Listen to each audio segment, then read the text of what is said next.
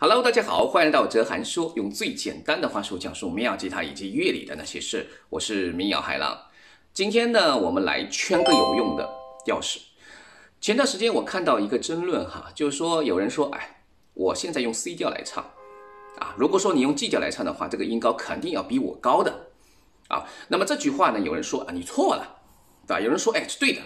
那么这个怎么去理解呢？在我的理解过程中是没有绝对的，但是它有一个前提条件。如果设置了前提条件，那么 G 调唱 C 调原来 C 调的歌曲，那肯定是要音高要高的。那么这个是什么理解呢？啊？大家应该忽视了一点，就是音可以高八度和低八度来唱。那我们先看这个调式的这个顺序的排列哈，我们自然大调，比方说是啊 C D E F G A B，对吧？这是一个顺序吧。然后 B 后面跟的是什么？又到 C 了。那你说这个最后这个 C 调和这个 G 调来比的话，谁的音高高呢？那么后面这个 C 调比前面这个 C 调是高了八度音。对吧？我们可以这样去理解，简单理解。那么后面这个 C 调它同样是 C 调，那么比中间这个 G 调的音高是不是要高呢？哎，这样子理解是不是这个道理呢？所以说需要一个前提条件才能去理解到底哪一个高。这个就是我们从啊这个调式的排列啊移调过程的排列来去看，我们就知道我们这个话需要怎么去理解了。那么我们来看，主要是比如说有一些歌曲通过声调。他能唱，啊，这个声调来唱的话，比如说一首女生的歌曲，男生他是唱不了的。比如说一首女生的歌曲，它原调是 C 调，但是有一些男生基本上是唱不了，因为女生的音要很高啊。那通过声调来唱，哎，反而能唱了，这是为什么？就是一个前提条件，降低八度音来唱，就这个道理。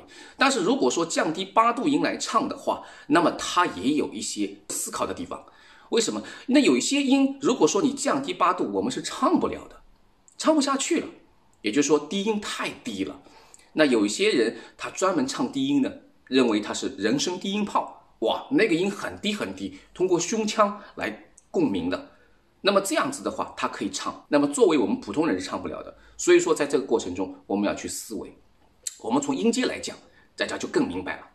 比如说有一首 C 调的歌曲，对吧？那么 C 调的歌曲呢，它的音呢很高，比如说它是在高音区，比如说啊高音哆哆来咪发嗦啊，长时间处于这个范围之内的话，男生很多人都是唱不了的，是稳不住的。大家一定要清楚哈，你不要说啊这个缩音嘛，很简单，嗦嗦，你去唱唱看，长时间稳在这个缩音上面，你能唱得了吗？唱不了的。所以说这个时候我们要降低八度。对吧？那么我们看哆来咪发嗦，哎，这个地方我就可以唱了。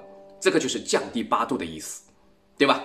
那么如果说它不是哆来咪发嗦的，它比如说是从这个啊咪音开始呢，咪发嗦拉西哆瑞咪发嗦，它的弦韵音是从这个中音咪，然后到了这个高音这个缩音，而且是长时间的旋律音在这个徘徊，那么我们也唱不了。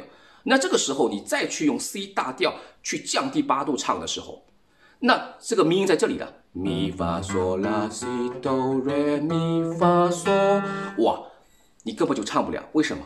因为这个低音咪咪发嗦，那变成人声低音炮的声音了。长时间要去处于这个位置的话，很难唱得出来的。所以说，这个时候我们需要通过升调以后再去降八度音去唱。那么这个时候我们就可以唱了，比如说，哎，刚才这个是 C 调对吧？我升到 G 调，那么 G 调的话，我再降低八度。那如果说你升到 G 调，啊，没有去做啊这种呃这个降八度音的话，那你也唱不了。为什么？它音高更高了。比如说哆来咪发嗦拉西哆，啊，它哆音在这个里的，对吧？你根本就没法唱了，很高很高的音了。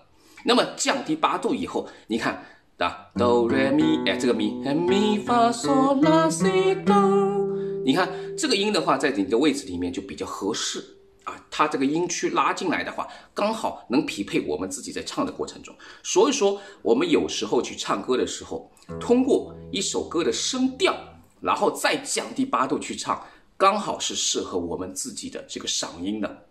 这个大家一定要清楚这个理解。所以说，今天我把这个概念再抛出来，比如说一个调和一个调去比较音高和音低的过程中，我们一定要设置一个前提条件，就说原先的那个原曲的旋律音，我不去做任何改变的情况下，你如果去升调或者说是降调的话，那么它音肯定是会此起彼伏的。那如果说这个前提条件没有的话，单单把 C 调和 G 调拿出来去评价的话，那这样子的话会让别人给你找出漏洞。为什么？我刚才说的那些话，希望大家明白。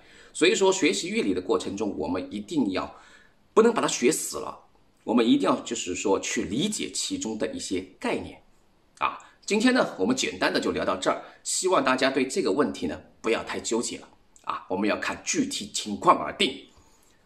拜拜。